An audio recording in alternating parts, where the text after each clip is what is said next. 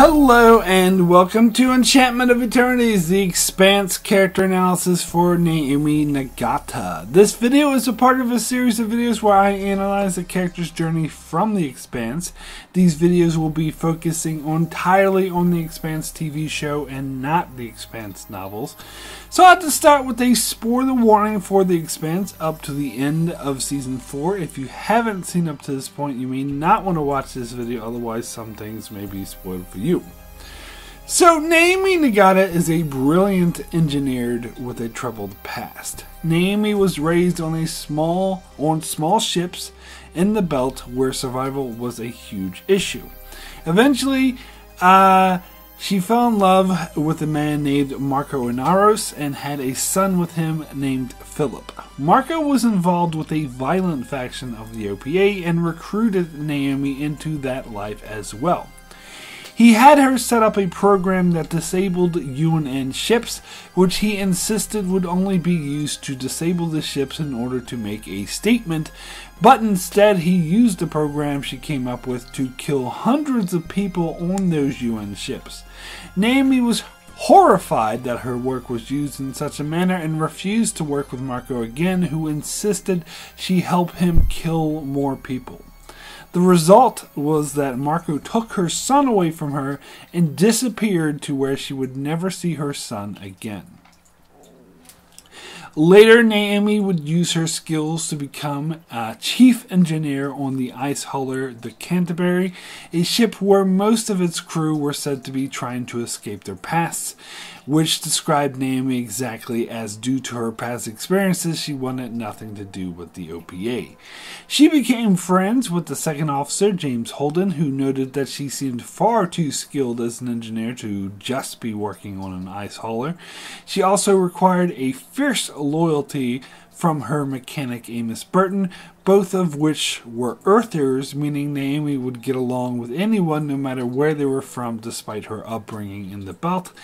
Uh, that was uh, suppressed by the superpowers of Earth and Mars. After the Canterbury's destruction, she was stranded with the survivors of the Canterbury, which included Holden Amos and the Canterbury's Martian pilot Alex Kamal. They had to fight for their survival on the shuttle Knight, which was severely damaged. Despite rank, Amos insisted Naomi should be in command as she was the most intelligent and Amos trusted her more. However, Naomi had her hands full trying to keep the shuttle from falling apart, so was happy to defer command to James Holden. However, she challenged him whenever he made command decisions he thought were unwise and tried to give him advice on how to be a better commander. When they were captured and imprisoned by the Martian warship the Donnager, Martian intelligence tried to blame her for the destruction of the Canterbury, insisted, insisting that she still worked with the OPA. However, she had to gain the trust of Holden Amos so much uh, that they did not believe the Mar- Martians. Uh, after the Donnager was destroyed, the four survivors became the crew of the Rocinante, and Naomi was happy to take on the role as chief engineer and XO, leading James Holden to captain the ship.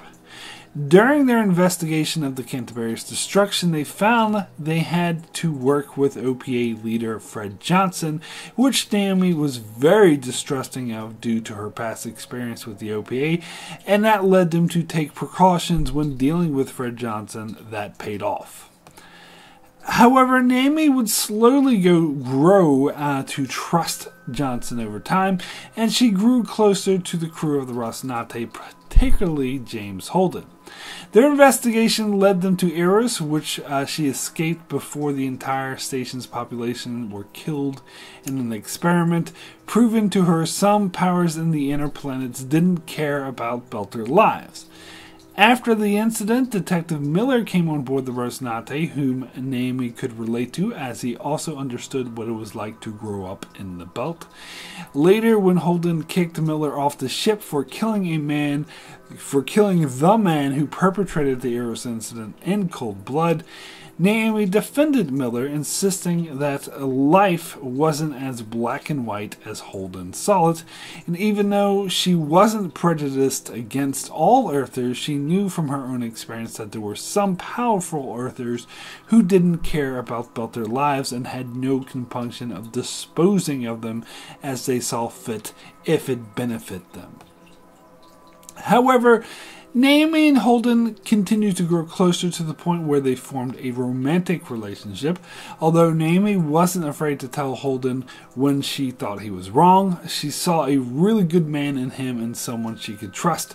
And Naomi was open minded enough to look past the fact that he was an Earther and uh, not. Uh, and not paint everyone from Earth with the same brush.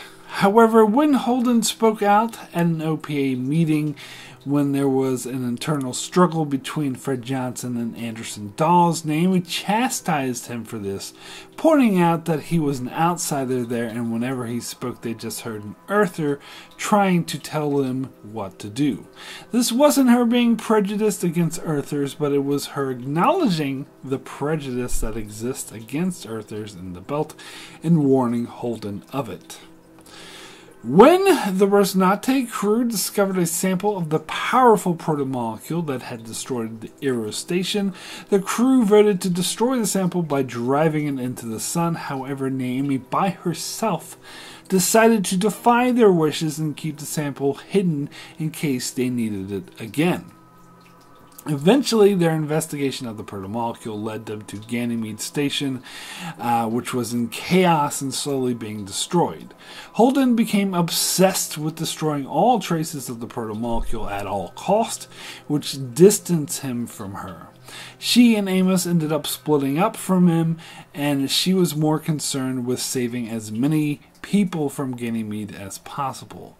When it was discovered there was limited space on the ship to evacuate people, Amos and the captain of the ship wanted to leave everyone behind as they began to riot, but Naomi insisted that they not leave behind those they can save, and she risked her own life to save them. In fact, she was willing to stay behind and die on Ganymede, but those there insisted that she return. However, after the ship lifted off, its destruction was threatened as Ganymede had become a war zone, and had it not been for Holden arriving at the last minute to save her, she would have died. However, when she thought she was going to die, she sent a transmission to Fred Johnson telling him where to find the sample of the protomolecule that she had hidden. When she returned to the Rocinante, she was once again endeared to James Holden, who apologized for his behavior and realized he shouldn't have lost sight of what was important. And when Holden's life was put in peril by the, a protomolecule hybrid that had stowed away on board, Naomi realized how much she loves Holden, so she confessed to him that she had given Fred Johnson the protomolecule, uh, which was against the crew's wishes.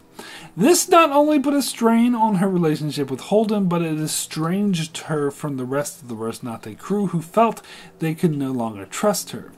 It got to the point where it became obvious no one wanted her on board, so she suggested they return to Tycho Station where she would leave the ship and they would never have to see her again.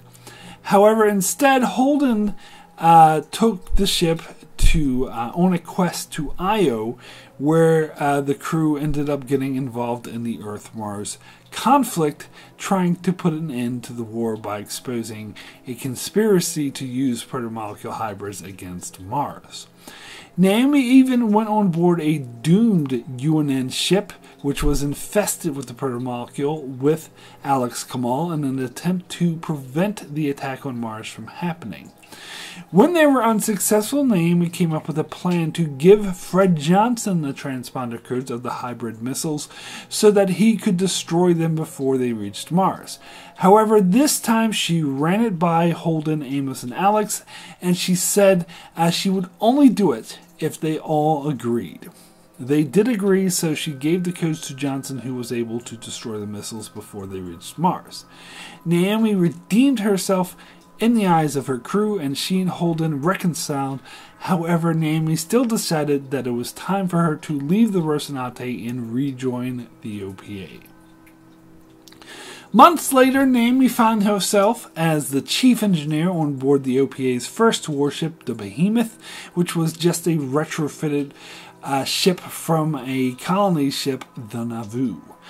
She was close friends with the ship's captain, uh, Camino Drummer, uh, and she would defend Drummer when they were forced to take on a first officer on the Behemoth loyal to Anderson Dawes, a man named Klaes Ashford. They were on a mission to explore the ring, a strange protomolecule creation in the outer edges of the solar system. There, the Behemoth was just one of many ships exploring the ring, including UNN and MCRN fleets and the Rocinante. When the Rocinante was framed by Clarissa Mao for destroying a UN ship, and a, the fake recording insisted that he did it in the name of the OPA, Ashford insisted that they destroy the Rocinante in order to prove to the UNN they did not condone this action.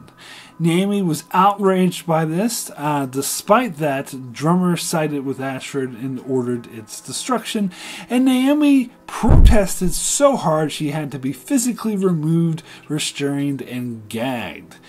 Thankfully, the Rocinante evaded destruction by going into the ring, but Naomi had lost all hope and confidence in the OPA at that moment.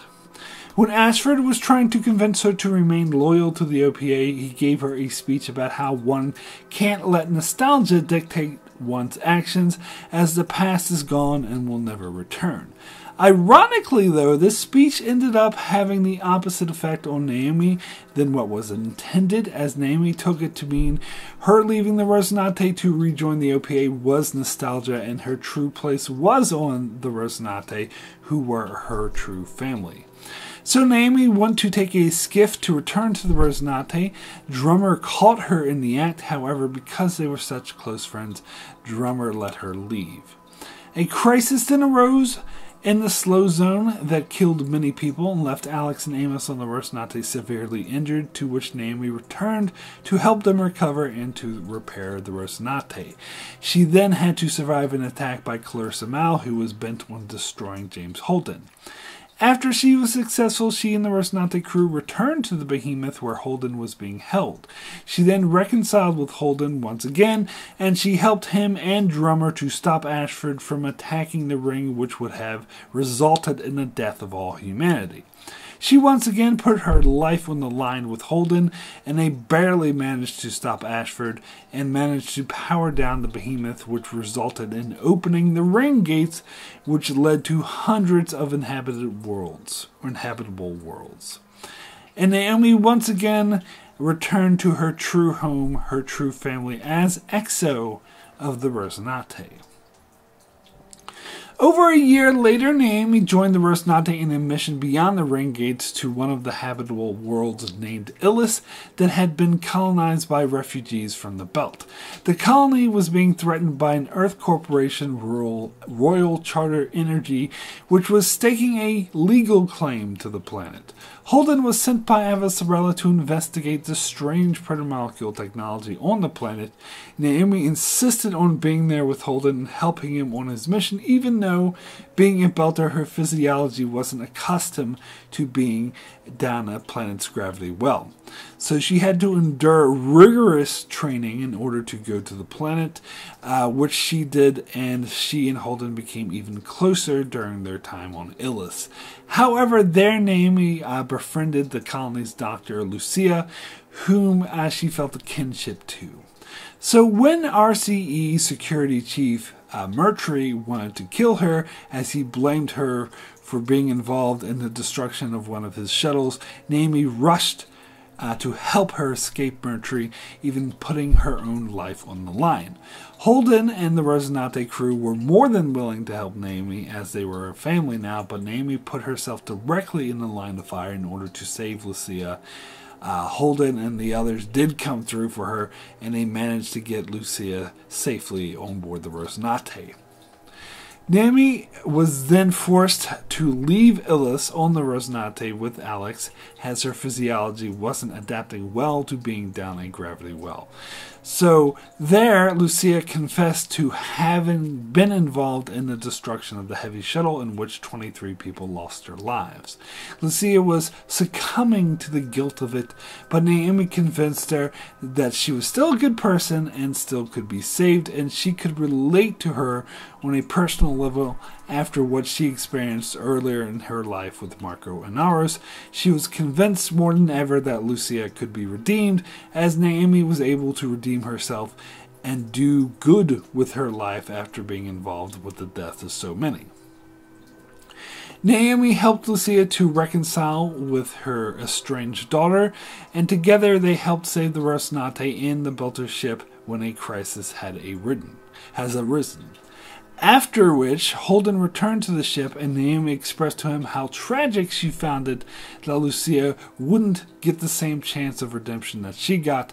But Holden then surprised Naomi by revealing that he will let Lucia return to Ilus to resume her life with her family rather than turning her in, which really endears him even more to her, uh, as it reinforces that Holden is a good man that she can trust.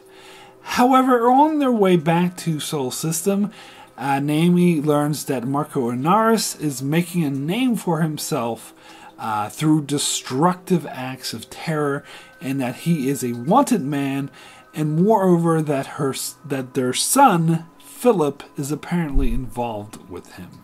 Naomi then reaches out to Fred Johnson for help to find her son Philip.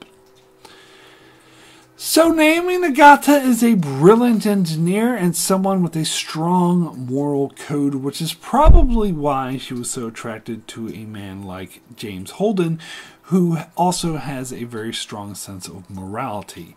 However, Naomi is more grounded than Holden and often serves as a good anchor for him to occasionally give him a much needed reality check. But Naomi is also a woman divided between two worlds devotion to her new family on the Rocinante, where she finally feels she belongs, but also loyalty to where she's from, the Belt, as she still cares very much for the Belt and understands their plight. Over the course of the show, she seems to have struck a good balance between uh, the two uh, the two different sides through trials and tribulations. However, it appears this will be put to the test once again as her desire to, to find her long estranged son is pulling to the forefront yet again. So that's it for my character analysis for Naomi Nagata. I'll be back each month for another analysis for a different character from The Expanse. In the meantime, you can check out my channel for more videos on The Expanse as well as many other videos and other shows like Star Trek and more. So be sure to subscribe so you can keep up with all of that. And thanks a lot for watching.